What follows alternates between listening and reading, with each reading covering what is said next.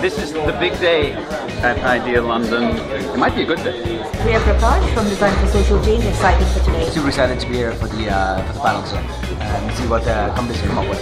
Barry Smith from Skyscanner, looking forward to seeing the pictures. And I'm really looking forward to hearing uh, the guest speaker, our keynote speaker today, Nick Brisbane from Ford Partners. And what about your presentation today? How are you feeling?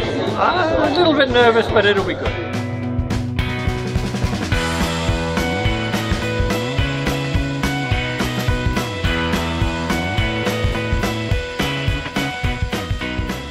Are um, you going to do with all these stories? I don't know, you tell me. Where's my vodka anyway?